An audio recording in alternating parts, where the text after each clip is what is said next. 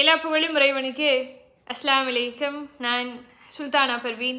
சிந்தனைக்காக உங்களோடு சில நிமிடம். என்னென்னா ஒரு தெருவில் ஒரு பணக்கார வீடு ஒன்று இருக்குது ஏழை வீடு ஒன்று இருக்குது இந்த பணக்கார வீட்டில் இருக்கக்கூடிய அந்த வீட்டுக்காரம்மா என்ன பண்ணுறாங்க இந்த ஏழை வீட்டை கவனிக்கிறாங்க. அந்த ஏழை வீட்டினுடைய நிலைமை என்ன அப்படின்னு சொன்னால் வீட்டில் நாலு பேர் இருக்கிறாங்க. கணவர் மட்டும்தான் வேலைக்கு போகிறார். அதுவும் என்னைக்காவது ஒரு நாள் தான் வேலைக்கு போகிறார். அந்த ஒரு நாள் வேலைக்கு போயிட்டு அவர் கொடுக்கக்கூடிய அந்த கூலியை வாங்கி அவங்க அவங்களுடைய குடும்ப தேவைகள் எல்லாம் பார்த்துக்கிறாங்க. ஆனால் அவங்க அப்படியே அவங்களுடைய வாழ்க்கை வந்து நகர்ந்துக்கிட்டே இருக்கு. இந்த அம்மா என்ன நினைக்கிறாங்க? நம்ம வீட்டில் இருக்கக்கூடிய நம்முடைய கணவர் தினமும் வேலைக்கு போகிறாரு.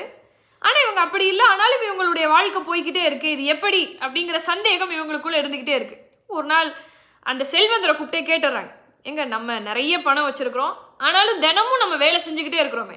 இவங்க கிட்ட பணமே இல்லை. ஆனால் இவங்க வீட்லேயே இருக்கிறாங்க. இது எப்படி? அப்படின்னு கேட்கும்போது இதற்கான பதிலை ரெண்டு மாதத்துக்கு அப்புறம் சொல்கிறேன் அப்படின்னு சொல்லிட்டு அங்கேருந்து போயிடுறாரு. ரெண்டு மாதத்துக்கு அப்புறம் இந்த அம்மா அந்த வீட்டை கவனிக்கிறாங்க. இப்போ அந்த ஏழை வீட்டில் இருக்கக்கூடிய எல்லோரும் வேலைக்கு போகிறாங்க. ரெண்டு பசங்களும் காலையில் நேரமாக எந்திரிச்சு வேலைக்கு போயிடுறாங்க. அந்த கணவரும் வேலைக்கு போயிடுறாரு.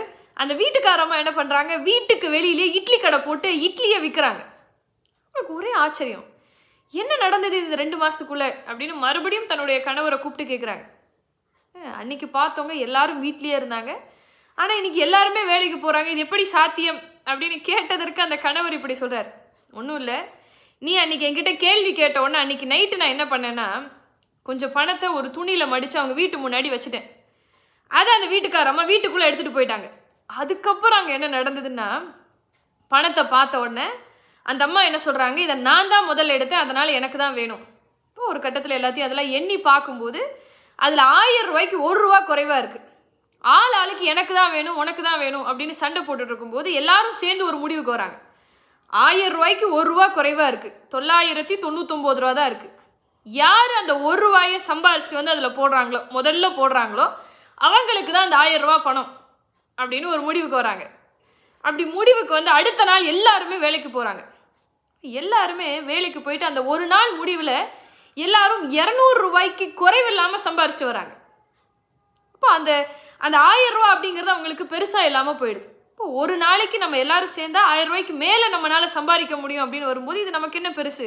இப்போ தினமும் நம்ம எல்லாருமே வேலைக்கு போகலாம் அப்படிங்கிற முடிவுக்கு வந்துட்டாங்க. அதுதான் அங்கே நடந்தது அப்படின்னு சொல்கிறார் இப்போ இது எதுக்காக நான் சொல்கிறேன் அப்படின்னா இந்த விஷயத்துக்குள்ளே நிறைய கருத்துக்கள் இருந்தாலும் கூட பணம் அப்படிங்கிறது ஒரு மனிதனுடைய வாழ்க்கையில் ரொம்ப தேவையான ஒரு விஷயம். இப்போ உணவு அப்படின்னு நம்ம எடுத்துக்கிட்டால் கூட ஒரு கட்டத்தில் மனுஷனால் அதை சாப்பிட முடியாது.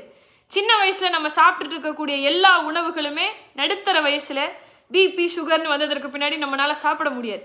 உணவினுடைய தேவை அப்படிங்கிறது ஒரு கட்டத்தில் சில உணவுகளை நம்மளால் சாப்பிட முடியாமல் போயிடும் ஆனால் பணம் அப்படிங்கிறது கிடையாது. நம்ம பிறந்ததுலேருந்து இறக்குற வரைக்கும் அது ஒரு மனிதனுடைய வாழ்க்கையில் என்றைக்குமே அதனுடைய தேவை இருந்துக்கிட்டே தான் இருக்குது இப்போது ஒரு ஒரு பணக்காரருடைய வாழ்க்கை எடுத்துக்கிட்டோம் அப்படின்னு சொன்னால் அவங்க சம்பாரிச்சதோடு அவங்க நிறுத்தலை. அவங்க அந்த பணத்தை பெருக்க ஆரம்பிக்கிறாங்க. அவங்களுடைய மணியை அவங்க மல்டிபிள் பண்ணும்போது அவங்க பணக்காரராகிறாங்க. இப்போ இதை நான் இளைய தலைமுறைக்காக இந்த பதிவை நான் பதிவு செய்கிறேன் என்னென்னா இப்போ உங்களுக்கு ஒரு வேலை கிடைக்குது உங்களால் ஒரு பத்தாயிரம் ரூபாய் தான் சம்பாதிக்க முடியுதுன்னா இவ்வளவு தானா அப்படின்னு மனசை சோர்வடையாமல் நம்ம புரிஞ்சுக்க வேண்டிய கான்செப்ட் என்ன தெரியுமா? பணம் பணத்தோட தான் சேரும். உங்களால் சம்பாதிக்க முடியுது அப்படின்னு சொன்னால் அதை உங்களால் மல்டிபிள் ஆக்க முடியும். அதற்கான ஆற்றல் உங்ககிட்ட இருக்குது அந்த பணத்தை பெருக்குவதற்கான ஆற்றல் உங்ககிட்ட இருந்தாலே நீங்களும் பணக்காரர் தான். யோசிச்சு பாருங்க. அஸ்லாம் வலைக்கும்